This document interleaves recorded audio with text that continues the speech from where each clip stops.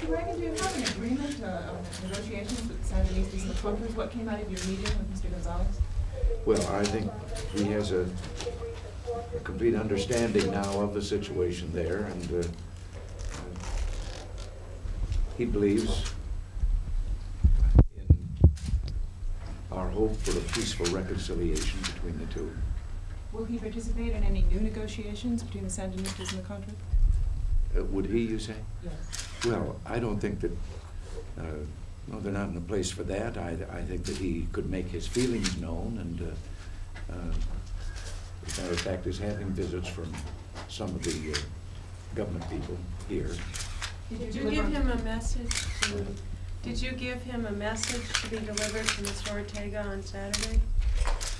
No, I just told him what the situation was and that we believe that the best answer for the people of Nicaragua was a peaceful reconciliation. Did you discuss I- reduction Thank of. U.S. Troops? Did you discuss a reduction Thank of. U.S. troops?